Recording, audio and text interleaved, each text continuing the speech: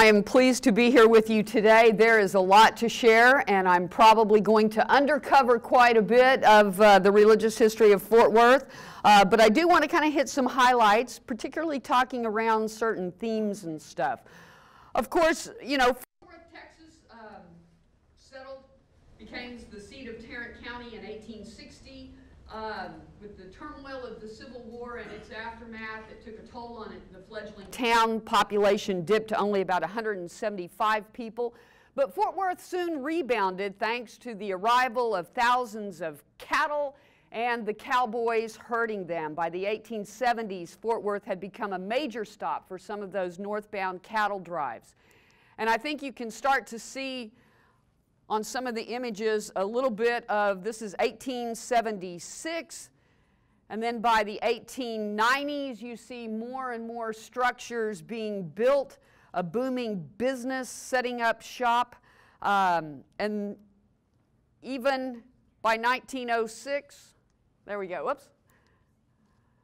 Fort Worth is declared to be the fastest growing city of the Southwest. But of course, with the uh, growth of industry and eventually meatpacking plants coming in the 20th century to Fort Worth, you have problems. Hell's Half Acre, as it was deemed, that particular section of Fort Worth with its saloons, its prostitutes, and other unsavory moral activities taking place. Um, but yet, in spite of some of the, you know, the saloons that you see, uh, you can start to see a development of a downtown region. Um, and so the leaders of Fort Worth also start to catch this reform spirit of the progressive era. In 1907, the city government is restructured to the commission form, and lots of people moving into Fort Worth to populate this burgeoning city in the southwest. The diversity of Fort Worth is really interesting to look at the history. But a lot of that diversity, I think, includes religious diversity, which is really what I want to focus on today. It's really kind of hard to see. Um, but you see, you know, advertisements in 1909 Presbyterians, Methodists, uh, Christian churches, Baptist, Episcopal, Congregational, Churches of Christ, evangelical churches, all sorts of churches that are springing up. Some more interesting ones here. In 1903, a Unitarian minister is coming to town to found a church in Fort Worth. You have a spiritualist society meeting in 1909 where after a lecture you're going to get those psychometric head readings, you know, uh, to determine your health and everything like that. And then part of that religious diversity reflects too demographics. A Swedish Lutheran church is founded in Fort Worth. And so there are lots of different groups that are moving into this growing city that are really reflecting large segments of the population um, that are often, I think, overlooked. You know, for many years in Fort Worth, the settlers had to hold religious services in their homes. Circuit preachers would sometimes come through and visit the frontier and hold the camp meetings. Um, the first approach, actually, to regular worship services in Fort Worth came with the Masonic Hall that was built at Calhoun and Belknap Streets, where for a time various denominations would hold services there and kind of alternate their services at the Masonic Hall. In fact, Captain J.C. Terrell remarked that in early Fort Worth, the Masons were united while the Christians split up into different denominations. Um, and of course, the city's pioneer congregation was the First Christian Church, Disciples of Christ. It began in 1855, organized in the home of Dr. and Mrs. Carroll Peak on, uh, in June of 1855. The first pastor, uh, A.M. Dean, and then followed by B.F. Hall. In 1857, they organized at the Masonic Building there on the corner of Belknap and Grove Streets. And during the week, that Masonic building, interestingly, was used as the first public school in Fort Worth. And the classes were taught and organized by Colonel John Peter Smith, who was a member of First Christian Church. Now, the first building site for First Christian was at Main and Houston um, 4th and 5th Streets. And then in 1878, the Rock Church was built on the site at 612 Throckmorton. Um, that was this, er, the older building that you see on the right there. Um, eventually, the current sanctuary was going to be erected at um, the site of that former location in 1914, organized and kind of designed in that Renaissance revival style. Um, from 1912 to 1961, L.D. Anderson had a 49 year ministry there with membership reaching about 3,000 people. So it's interesting when you look at uh, First Christian. Now, this is the old rock church. This is the first structure that they built. Some photos that I found there. Again, kind of the prominence. Uh, and then they switch. They start to raise $75,000 up to $100,000 to build the current location. Oh, there we go. And there are some of the designs and the plans for that Gothic structure, kind of the dome structure. Interesting, one of the things that I found that after the dedication of this building, one of the first to be baptized was actually the architect who drew up the plans for that building um, with that wonderful baptistry that they have there. And then, of course, in 1915, pioneer Texas cattleman Burnett gives $12,000 for a pipe organ to First Christian Church. Now, I think this is interesting because 1915 is after the split between the Christian Church Disciples of Christ and the Churches of Christ over the issue, primarily, not all, but primarily of organs being in the churches and the use of instrumental music.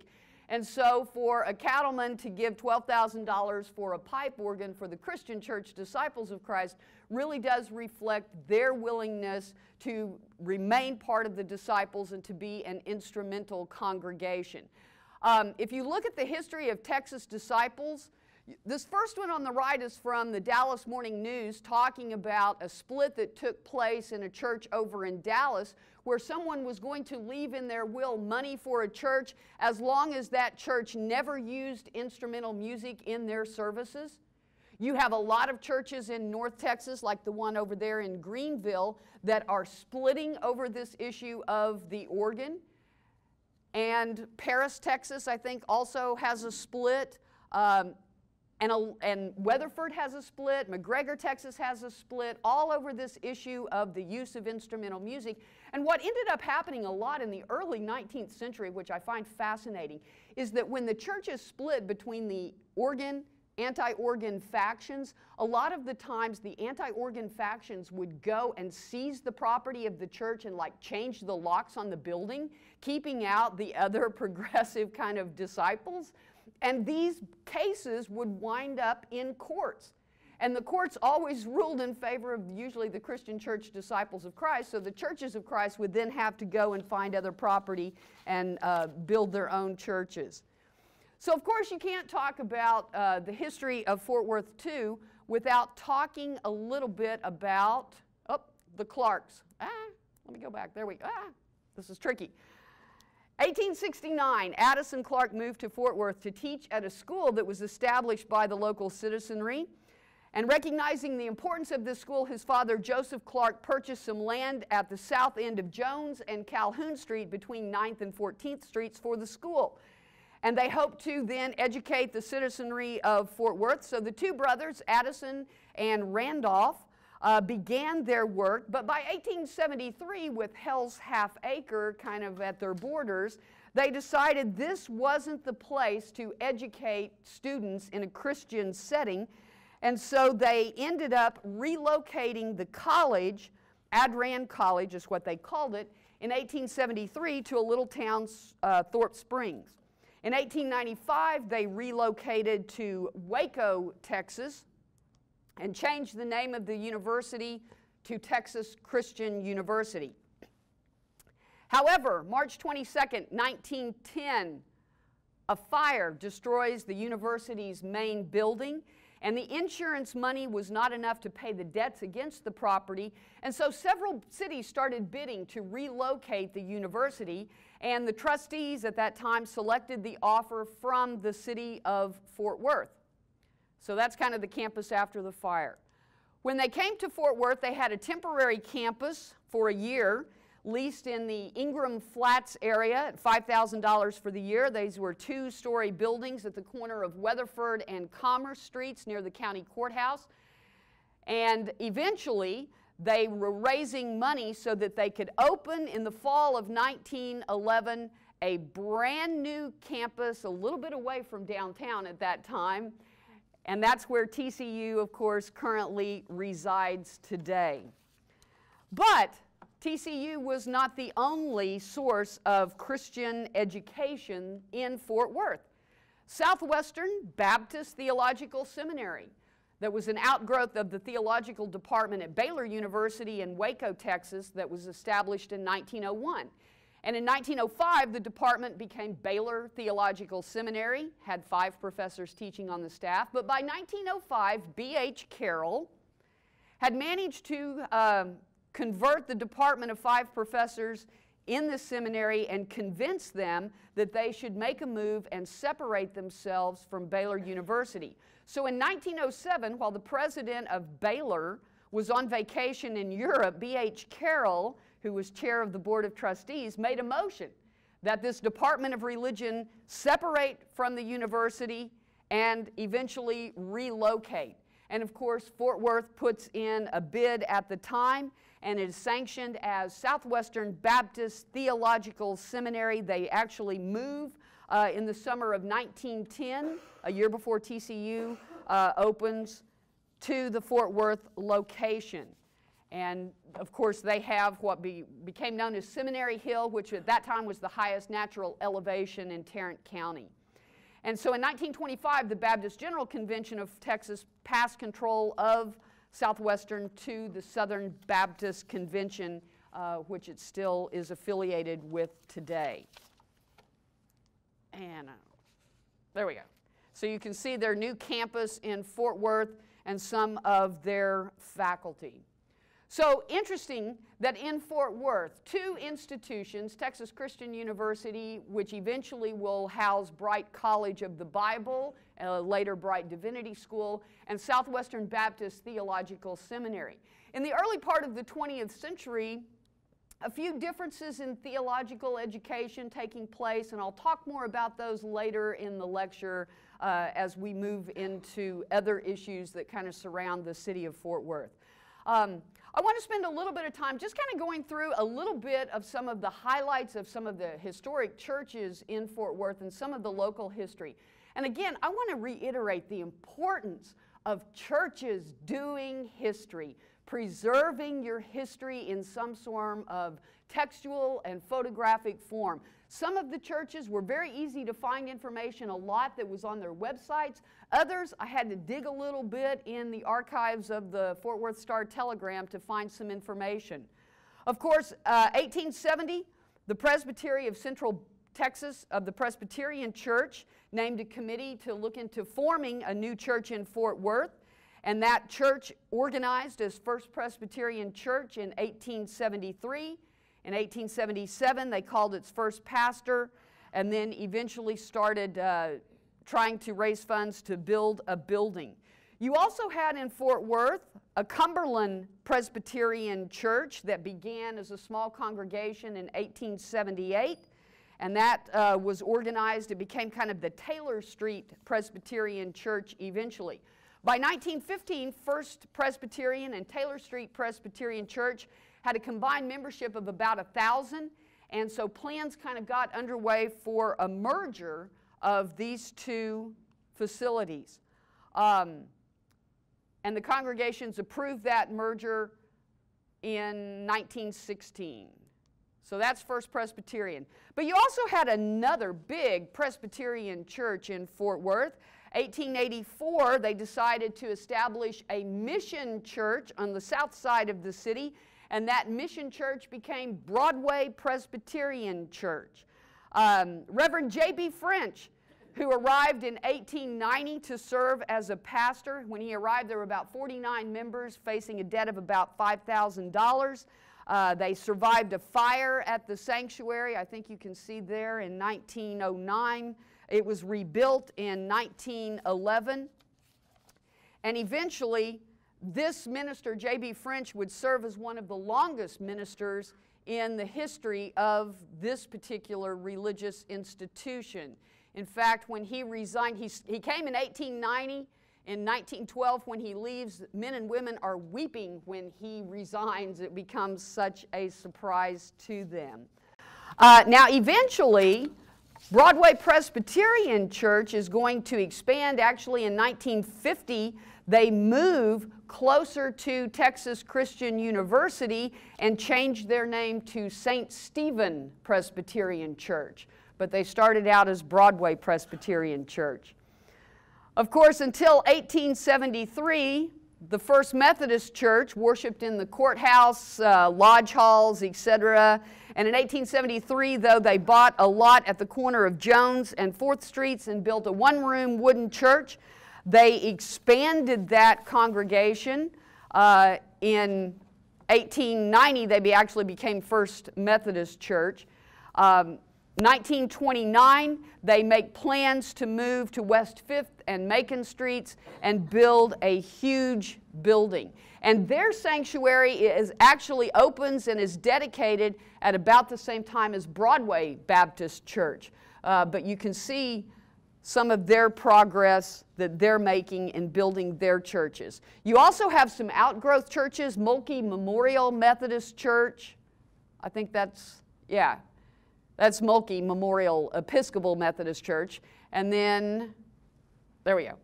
That's the dedication of uh, First Methodist alongside Broadway Baptist at about the same time in 1929. Episcopals are here. Uh, St. Andrew's Parish Church is founded in 1875, the first Episcopal presence in Fort Worth. Oh, that's Methodist. There we go. When St. Andrews became a parish in 1875, it included many Fort Worth founding families in its membership, and this now historic building located on Lamar Street was consecrated actually in 1939. So you do have you know, from the mainline churches, a pretty good presence in the historic downtown area as well as what was then the south side of Fort Worth.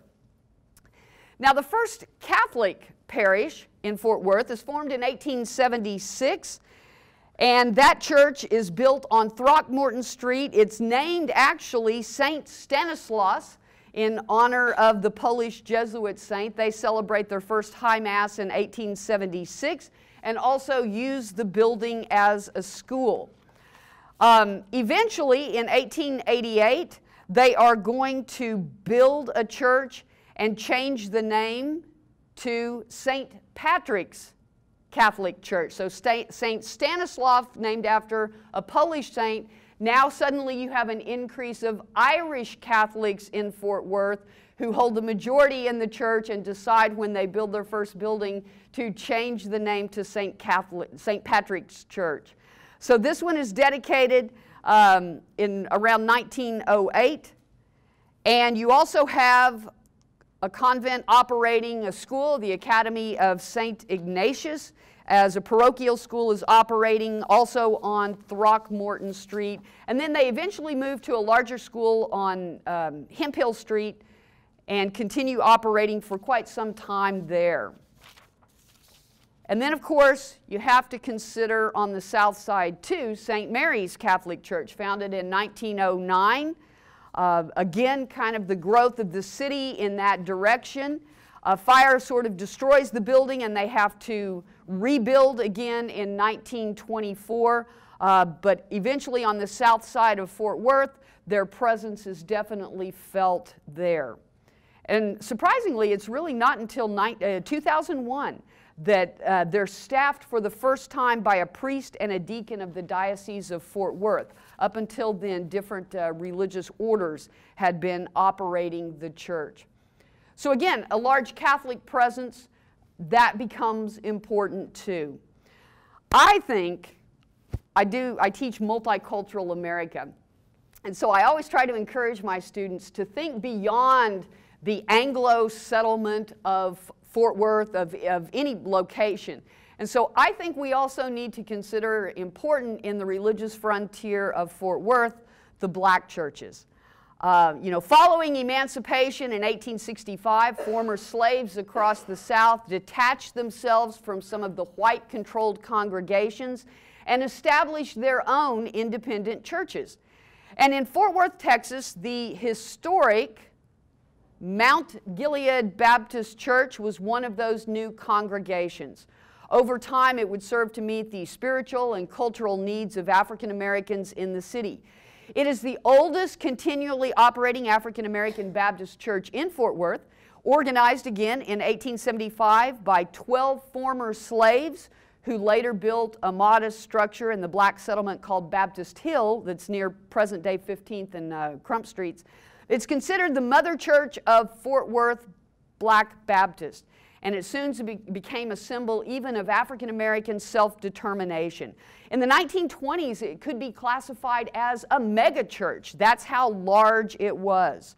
Uh, but very prominent within the African American community, um, professional scholars that are there, eventually uh, declining membership, over the last few decades had some setbacks in restoring the building. There was a scheme in 2016 to sell the church property to help expand downtown Fort Worth in the business district, but the congregation defeated that with a lawsuit. And so the church still stands at its 1913 location, kind of a, a local landmark there.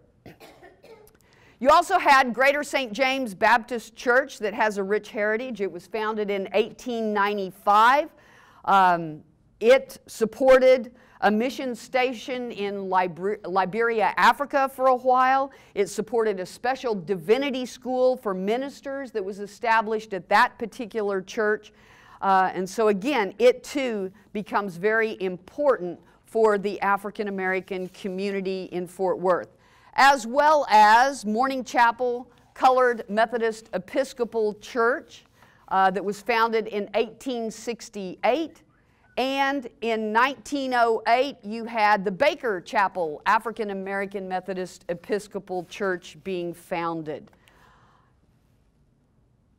And then in 1873, you also had Allen Chapel AME Church. So, again, a lot of these churches that are there that are contributing to the needs of the African American community. And you know, one of the things about the black church uh, that you have to consider, it's not just a meeting place for spiritual needs of its members.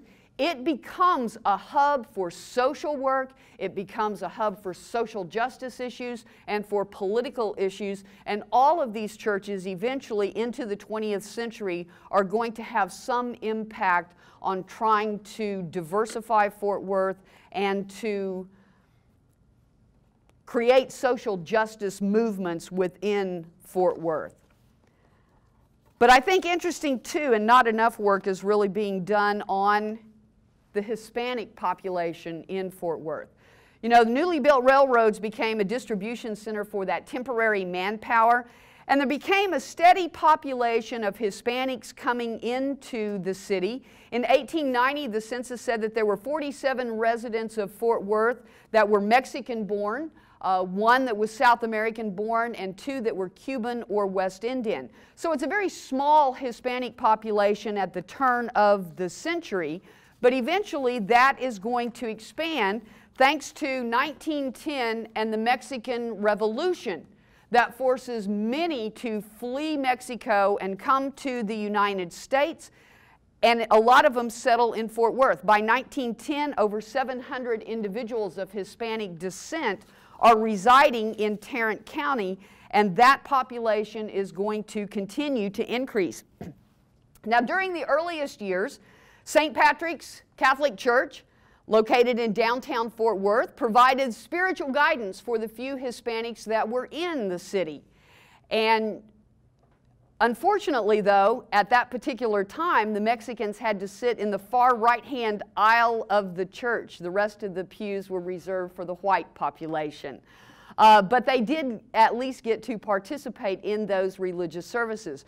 By 1913, uh, the population had, uh, had risen enough to justify a separate facility that was still a part of St. Patrick's Catholic Church. Around 1910, the Methodist churches of Fort Worth began their efforts to assist foreign born residents living around the stockyards and the meat packing houses of North Fort Worth.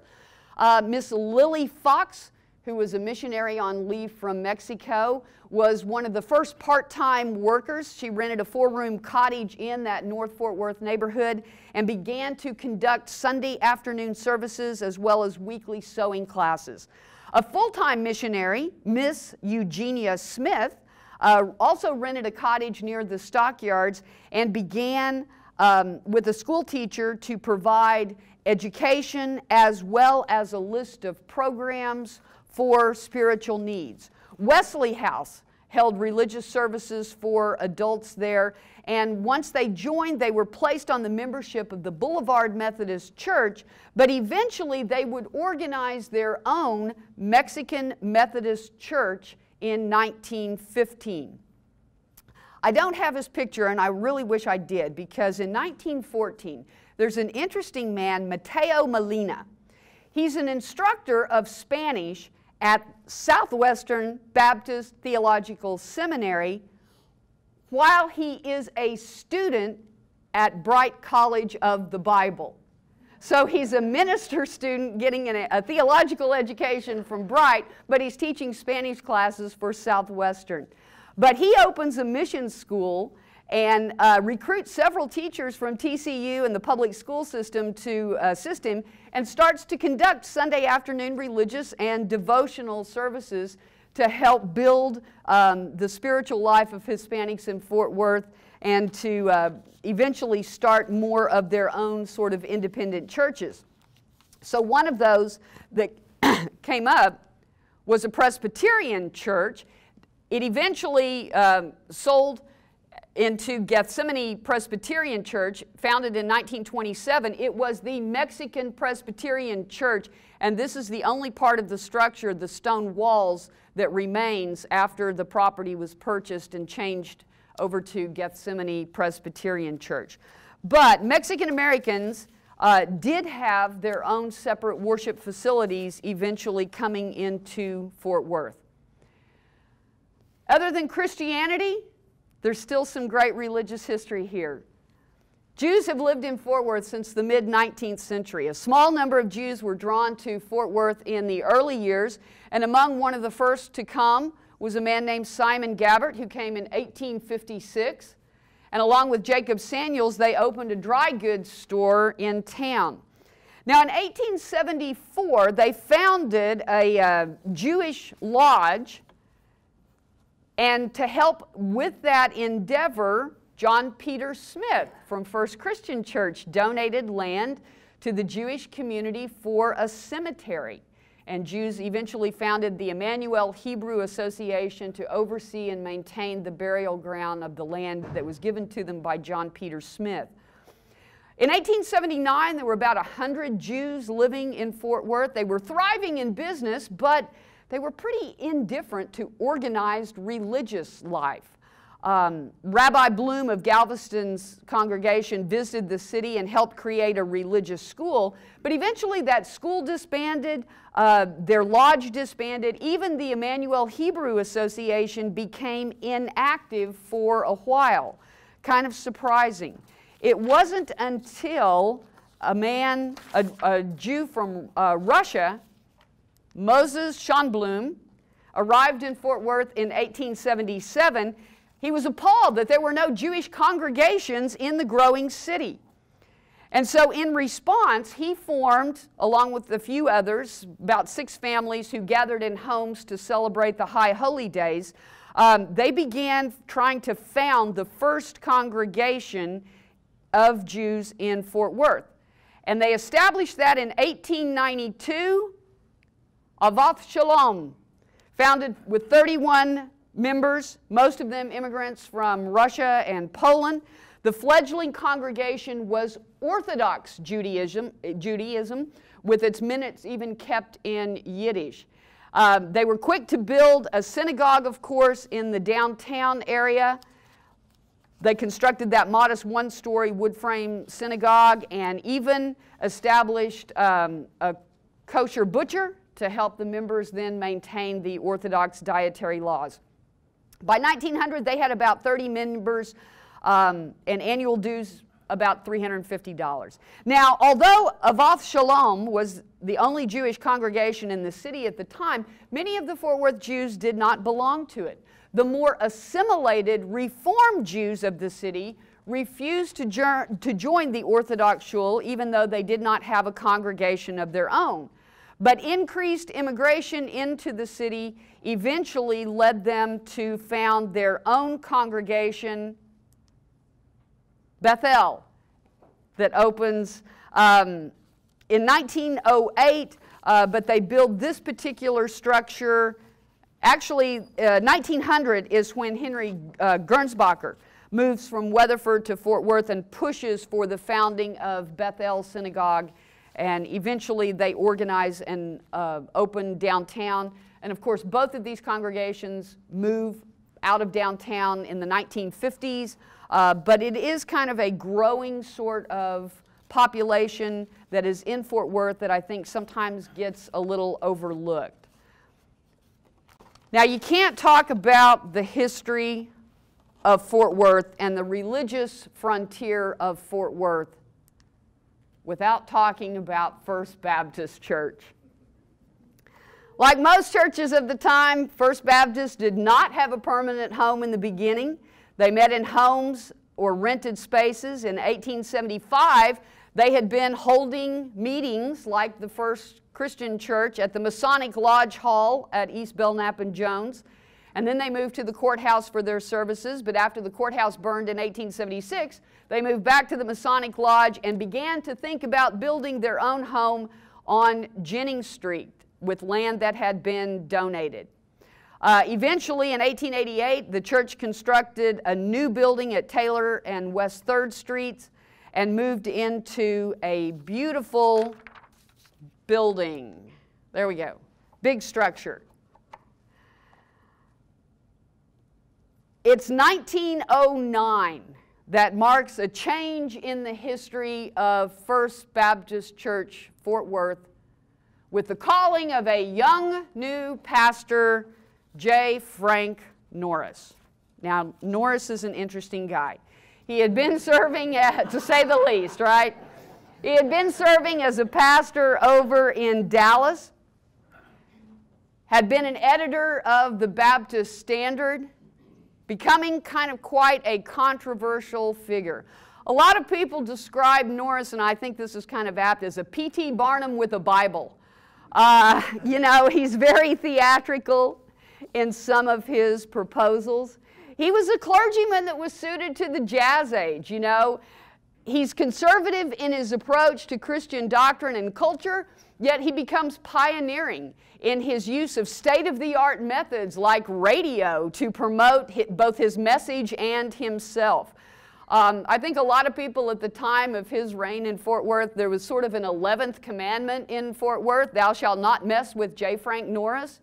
Um, he perfected sensationalism as an art form, and the controversy was part of his showmanship.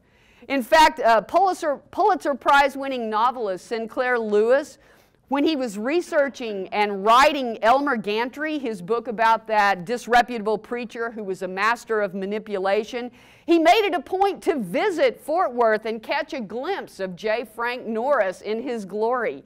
He had a file filled with newspaper clippings about Norris's uh, fame for the flamboyant in some of his anti-vice crusades. And so Norris, of course, becomes pastor of First Baptist in 1909. A young man coming to the city to establish himself at that church located at 3rd and Taylor Streets in the middle of downtown. And soon J. Frank Norris was in the middle of everything. The middle of controversy, court cases, headlines, pulpits, other people's faces, etc., etc.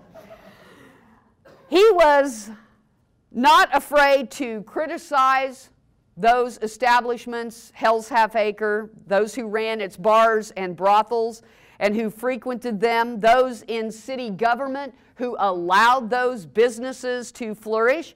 And in his sermons, Norris was not afraid to name names and to name big names. Um, he named those who profited from those wages of sin.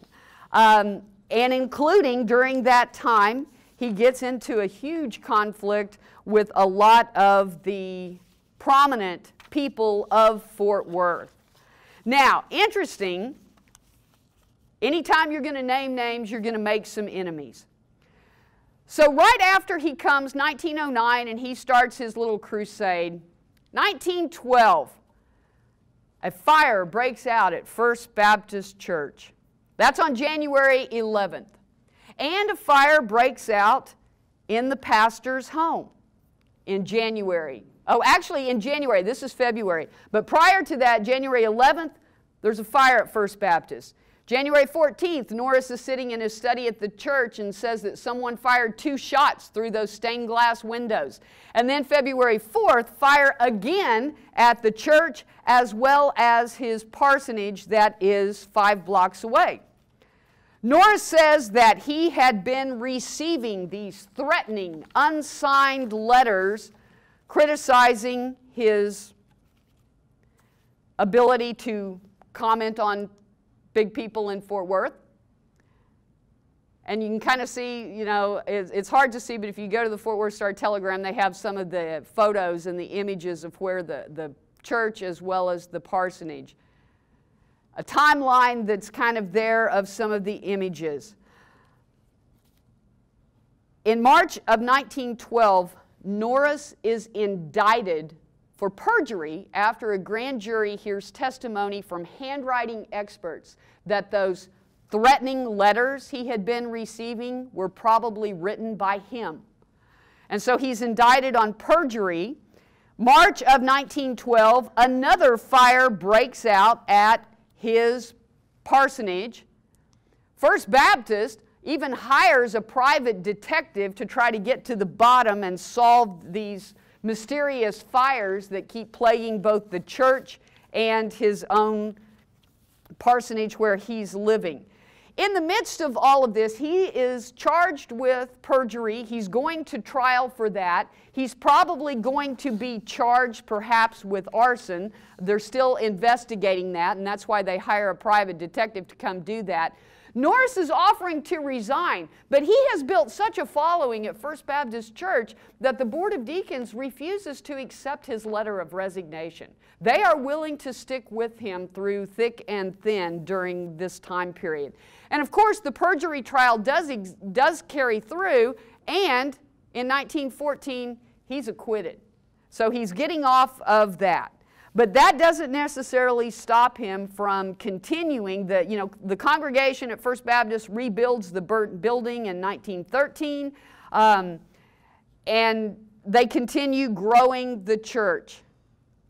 But as they're growing the church, Frank, J. Frank Norris tends to keep going a little further to the right theologically over into that area that we would call fundamentalism.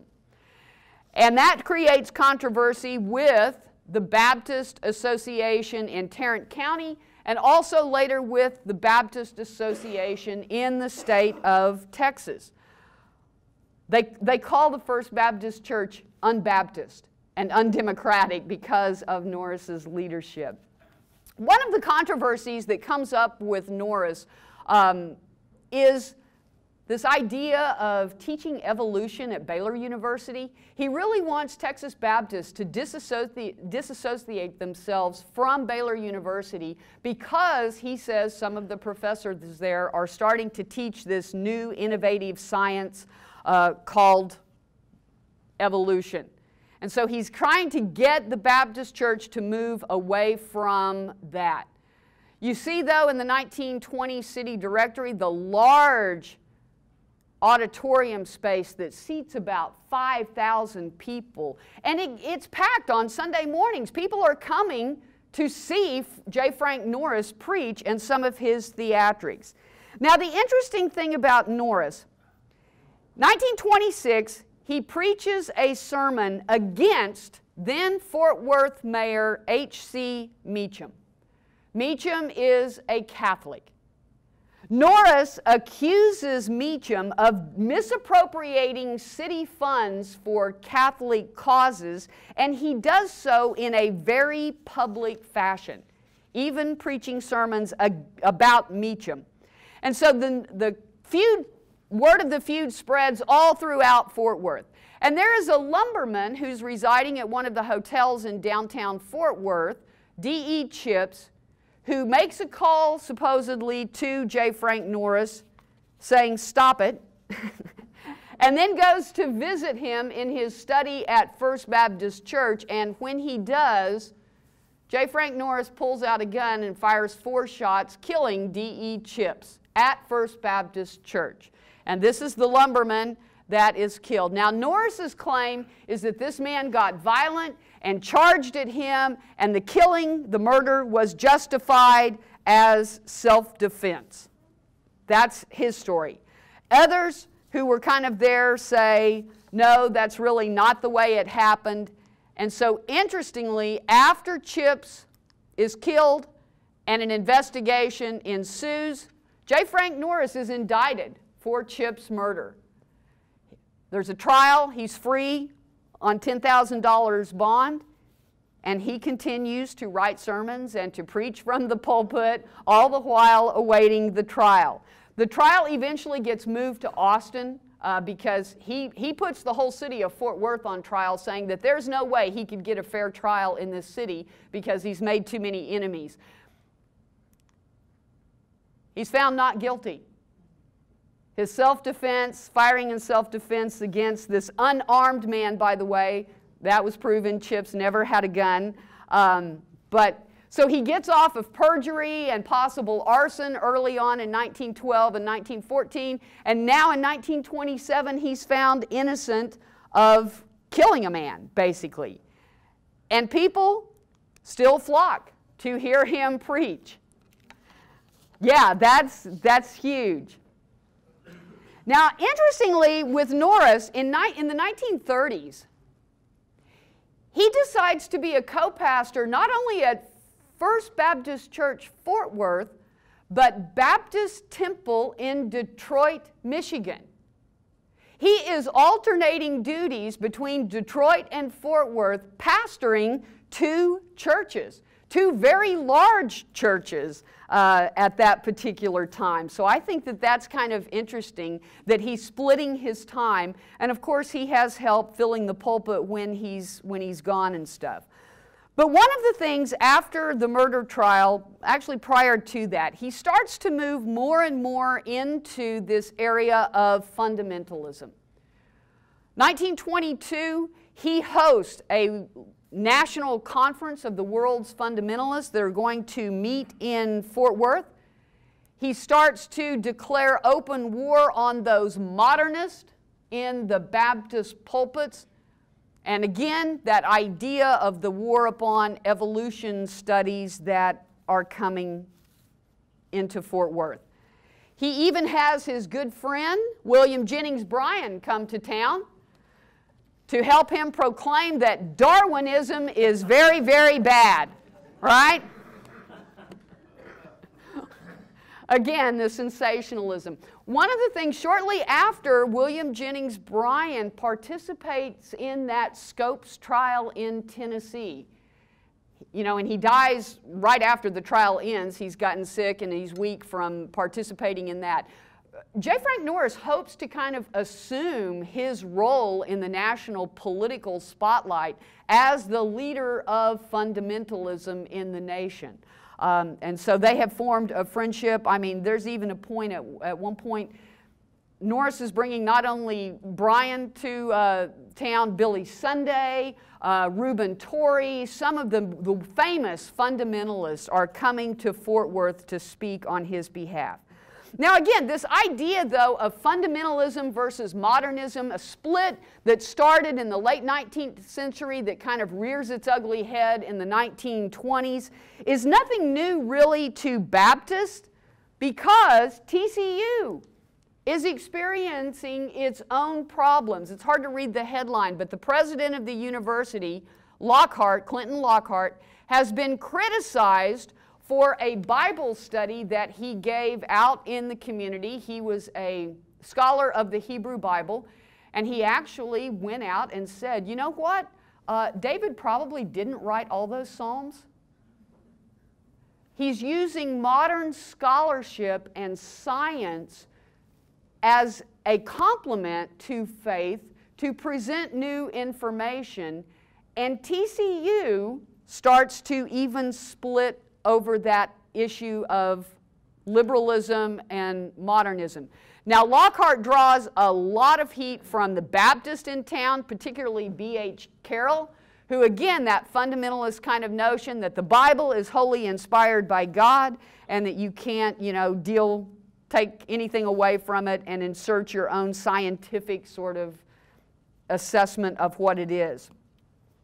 TCU has another professor in the sociology department, uh, Ferris is his name. He too is teaching this liberalism that you can use science and faith together to study the Bible in a new sort of way and come to maybe different conclusions. And it's interesting at that particular time, there is a group in the Bible College of, of TCU that's saying, ooh, we don't want any part of that higher criticism, liberalism that's working its way into TCU.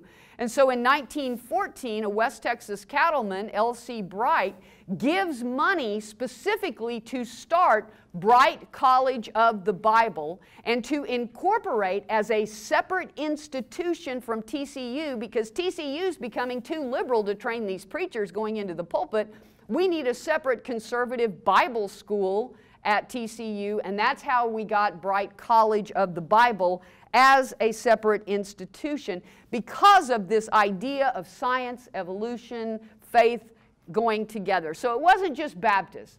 Uh, Christians, Methodists, Presbyterians, all of these theological institutions of education in the early 20th century are having this fight. Presbyterians and Methodists are even having heresy trials uh, with some of their professors at the schools that are teaching some of this newfangled sort of science. Another thing back to First Baptist, though, I think it's interesting when we talk about race relations. When Norris is indicted on murder, its members of the Klan rally to support him. One of the members of his own church, a man by the name of um, uh, I can't remember, Lachlan, I think, is preaching sometimes when Norris is absent, and he's a grand dragon with the KKK. And yet he's filling the pulpit in Norris's absence on Sunday mornings.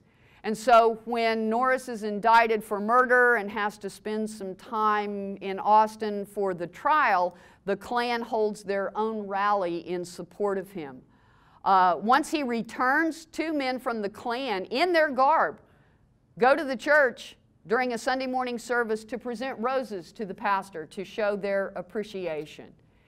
And then, interesting, when the KKK headquarters in Fort Worth, the building itself catches on fire, uh, and they're going to have to rebuild Norris offers First Baptist Church Auditorium as a place for them to meet and to do their programs.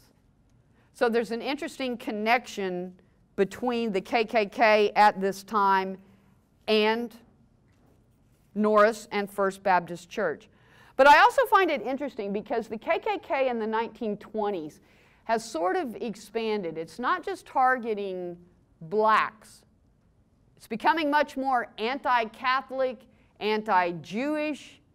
And of course, Norris and Meacham, the Catholic mayor of Fort Worth, are, are at odds because I found this is interesting. 1923, one of the African American churches in town is celebrating an anniversary, and J. Frank Norris gets to preach the sermon at that anniversary celebration. So I'm not sure at this point that the KKK affiliation is necessarily, at least in Texas, quite targeting African Americans as much as perhaps Catholic and Jews. But, again, it's not just Baptists that are associated with the KKK. In 1919, a Dallas couple, A.C. Parker and his wife, donate $30,000 for the building of a flagship church at Texas Christian University. That church will become University Christian Church, right across the street from the campus. So $30,000 from A.C. Parker of Dallas. A.C. Parker, it's hard to read here, a 45 year old insurance company director and oilman who lived uh, Kings Highway in Dallas was a cyclops in the KKK and led the procession in 1924 dressed in robes and hoods around the old, in Oak, old Oak Cliff downtown area. So the same man that gives $30,000 to build University Christian Church in Fort Worth is a Cyclops with the KKK and participating in parades and rallies in Dallas dressed in his garb as well. So again, it's a fascinating kind of time of you know, race relations and things that are going on. Again, you know, there is so much um, to the religious history of Fort Worth. I think it's important for churches as you look into your own religious history. One of the things that I would say to you don't forget to consider the good and the bad. You know, every, every church has skeletons in its closet. Every church has had some sort of conflict and controversy, sometimes that has caused churches to split and to form other congregations, and at other times um, has really kind of done some wonderful things for social justice issues in this city to help promote a better living environment for all people. So as you look at your own local congregations and faith institutions, I would ask you to consider again when you're doing some of the research, both good and bad. And I think, again, it is important to document to try to pour through some of these archives from the Fort Worth Star Telegram, some of your own church records, looking through the minutes of different meetings, business meetings, congregational meetings, and trying to figure out what issues are important to the church and what issues kind of frame a broader political and social cultural environment that's taking place. You know, Christian church disciples, Baptists, are not the only ones encountering fundamentalism versus modernism in the early 1920s. They're not the only ones with KKK members uh, that are giving. So, again, don't exclude some of those negative things in the history because I think that's just as important and sometimes just as revealing. Um, but I know our emphasis is trying to say, ooh, yay for us. We're so wonderful when we write those histories. But again, be a little more realistic, I think, when you examine things. Again, I know I have kind of uh, short covered everything in the religious frontier of Fort Worth. There is so, so much. And I hope at some point, perhaps maybe some people can start taking some of these local church histories and start to combine them together into one big narrative of the religious history of Fort Worth, Texas. It's an interesting place to study late 19th, early 20th century, you have such a diverse range of different groups that are here, whether it be you know, racial and ethnic groups contributing with their religious practices, or whether it be denominational institutions that are here contributing. Um, so I hope that maybe I've shared something with you that you have found interesting and might be inspired uh, to do a little more research. But I do want to open it up for conversation, questions, and, and things like that. So I, I can't see right now with the light, but hopefully we can maybe turn some lights on.